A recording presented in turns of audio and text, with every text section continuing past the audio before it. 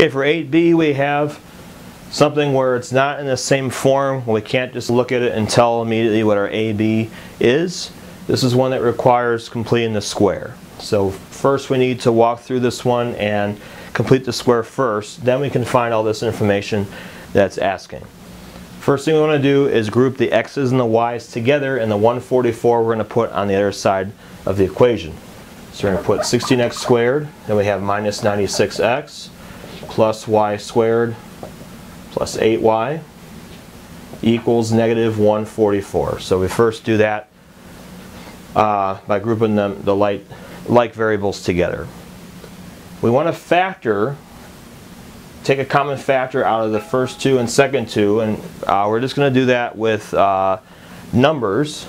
Okay, so this we're going to take out a 16. We're not going to plot an x, we just want the number only. So we're going to take out a, a 16 there, and when we do, we get uh, x squared minus 6x. Now, I want to leave a space in there because this is where we're going to do the complete the square step later. We'll get a number that's going to end up being added inside there, so we want to leave that uh, space alone. And we have plus y squared, 8y, and then nothing, and equals 144. So again, I'm leaving a space Now this, uh, there's nothing to take out because I just have a y squared and an 8y, so nothing I have to worry about pulling out there. So I only have to do, I'm going to do complete the square with these two. Now for the first one, for complete the square, I'm going to take negative 6 divided by 2 and I get negative 3. And then I'm going to take negative 3 and square it and I get positive 9. So you're always going to divide by 2 and you're always going to square uh, on that one. So the number you get in step number 2, you want to add it to both sides of the equation but when you add it to the right hand side, don't forget to multiply this by the number outside the parentheses. This is the most common mistake I see students making on this kind of problem, forgetting to multiply by the number in front. It's very important that you remember to multiply that. Don't just add 9, you're adding it 9 times 16. So you add 9 inside here, but on outside here you have to multiply it by the 16. Uh, next, we want to do complete the square with this one here. We're going to take 8, we want to divide it by 2 and we get a 4. And then you want to square the 4 and you get 16. Now this one, you can just add 16 because there's no number in front like we had before. So in this case, we're just going to add 16 only because there's, uh, there's nothing outside there uh, that we have to pull out. Now we're ready to factor it. So we're going to do this. This is x minus, uh, we know we're going to have, we'll have an x uh, in here squared, and then this is going to be uh, something with a y squared.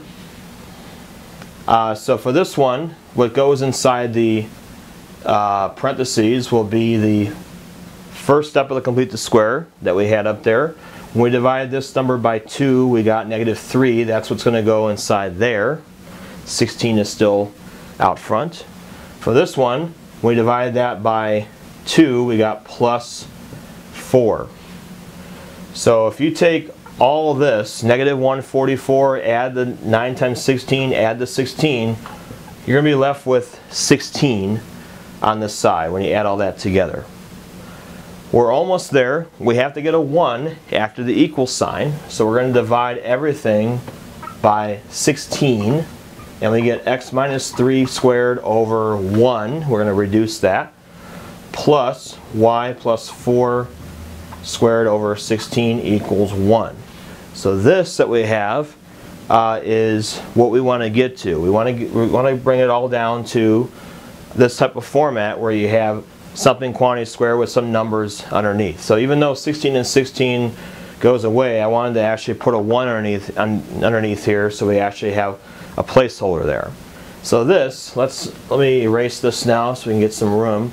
And we'll put this now on top. x minus 3 squared over 1 plus y plus 4 squared over 16 equals 1. So this is the equation I'm now going to work with for filling out all this information here. So now we just start the problem with it in that form. Now what I notice about uh, that is that this is not in the not centered at 0, 0 because I've got other numbers after the x and the y.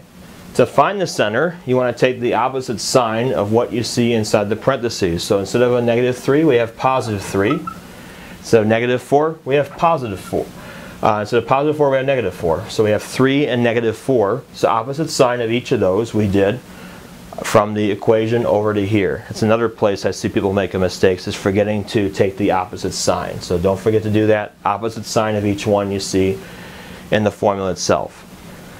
Okay, now we have to figure out which way is this going to be oriented, left or right or up and down. We notice that the larger number is underneath the y. That means we're going to have an ellipse that opens up and down just like that. The larger number is always the a squared.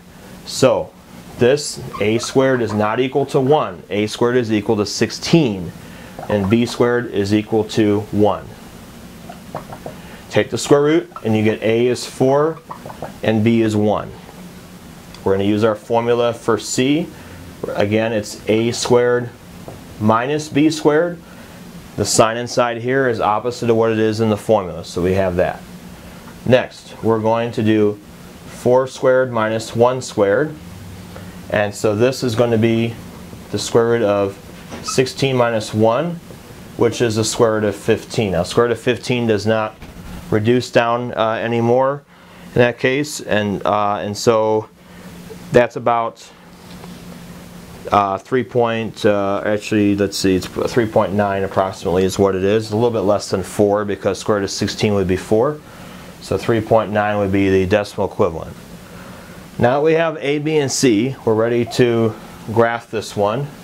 So this, we're going to first start by graphing the center.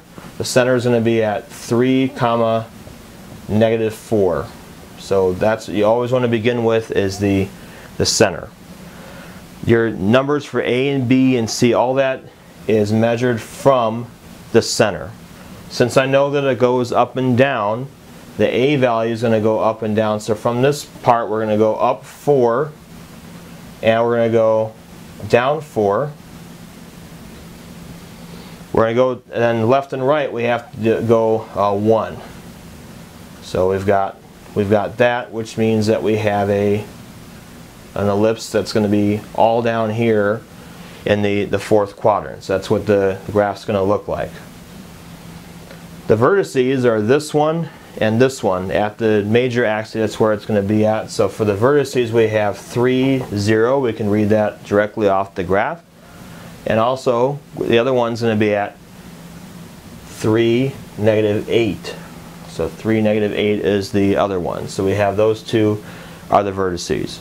Uh, for the foci, your foci is uh, almost 4. So actually, the foci are almost right on top of the vertices. They're almost right next to it because it's uh, it's pushed almost all the way back because the C value is so big. It's uh, so we go up here 3.9 and down 3.9. If I wanted to express that as a foci, now the x value we know is a that's going to be 3 all the time.